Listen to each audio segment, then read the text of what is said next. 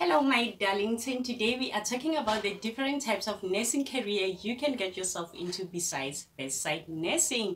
My name is Malevo Mukwena, the first enrolled nursing auxiliary YouTuber in South Africa. Nursing is a very versatile career that you can get a job that suits your personality.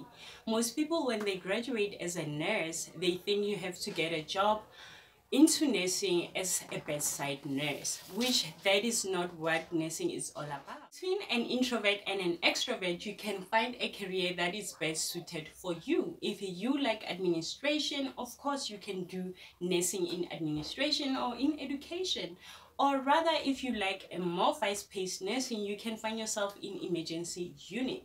Stay tuned when we talk about all the specialties that are there in nursing that doesn't involve you nursing a patient on the bed. Like i said nursing is a very versatile career. If you are an introvert you can still find something you can do in nursing if you are really interested in pursuing nursing. And also extroverts are everywhere. You can find something for you if you are an extrovert in nursing.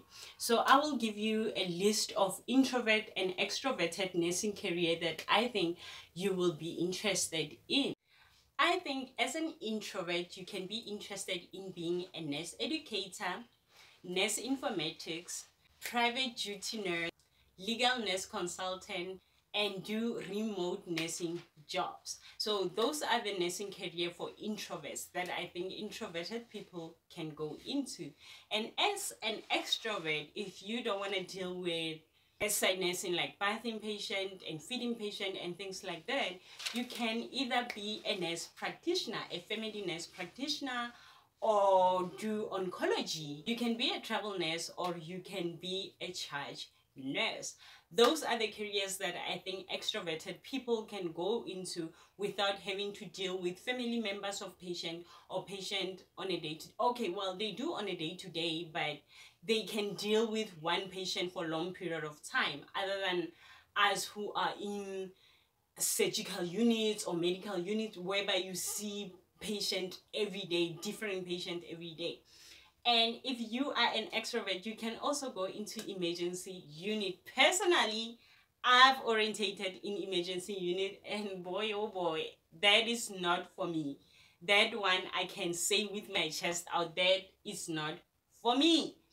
I did well, but the pressure, yo, the pressure was getting worse.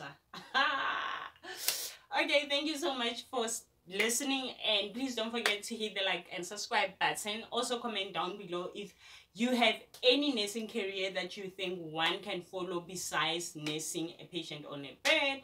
And i love you guys. See you on my next video. Bye